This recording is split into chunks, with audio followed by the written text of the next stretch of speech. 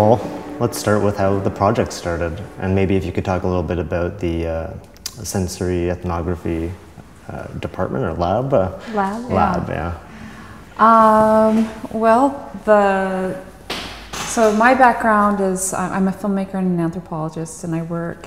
Uh, I've been working in Nepal since 1999, and I started making films there in 2006. And um, before we started the project, I'd been there. I was there for about two years, um, and working in the same village day after day, um, and working with some of the people that a number of the people that you see in the film and life had become pretty predictable and i was feeling really stymied and uh, the Manakamana cable car everyone in nepal knows about so it just seemed like a really novel situation and a way to get out of the village and it was just so spectacular and surreal and strange that it seemed like it screamed cinema and so that had been you know something that i'd been thinking about for a while but Pacho, on the other hand, had also been thinking about working on a film about transport.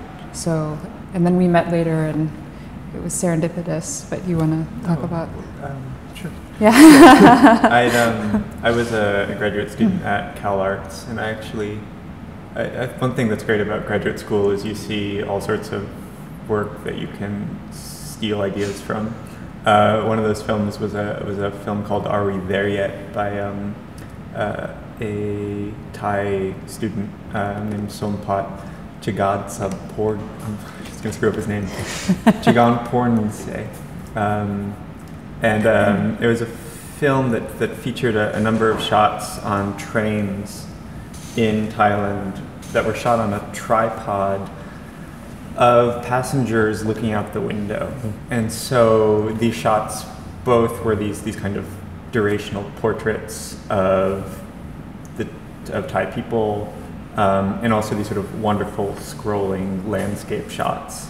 Um, and I had sort of, yeah, I was, I was struck by this this way that the shot both functioned as portraiture and as landscape at Cal Arts. James Benning is a very influential teacher, um, and this this way of sort of co- combining the two seemed seemed like a, a novel thing to me. So for a, a while, I'd been thinking about ways to take this idea, this a shot that was both a, a landscape vista and a, and a portraiture, and to put it into the world. Um, and I and we we met in 2006 in a classroom setting, but then we didn't see each other for how many years? I don't know. Four, probably, uh, five. yeah, something like that. And um, in that time, um, Scott MacDonald had also come to Harvard to teach um, avant garde cinema, and I was his teaching assistant for that class and saw 13 Lakes, 10 Skies, uh, Kenneth Anger too, and just like this whole amazing slew of films I'd never seen before. So for me, um, I, I thought 13 Lakes, I, I still believe, you know, 13 Lakes is one of my favorite films of all time. I'm, I'm not, I'm enthralled the whole time. And so this, I, this um, duration uh, has always been appealing to me. But in this con, but for us, what was wonderful about um, shooting in film, it was shot in 16 millimeter film, is that it gave a structural integrity to our desire to convey the entire trip. So, yeah. So we see parallels with that work, with um, Sharon Lockhart's work.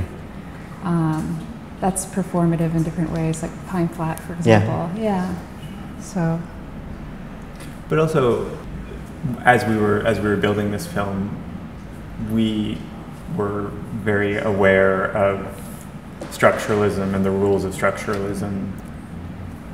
But we didn't we didn't want this film to sort of comfortably be a, a structuralist film. And there's there's a way that That's right. I think part of what was so exciting about the innovations of, of people like James Benning and Sharon Lockhart were, were just the, the novelty of this way of, of building a film. Um, and the, the rules of structuralism have been around now 25, 30 years, even more. Um, and so it's time, I mean, it, we hope our film is a kind of ad- advance, a, a way of using some of the ideas of structuralism, drawing the, the durational shots, but not quite fulfilling the, the sort of the, the obligations or the, the contract of structuralism.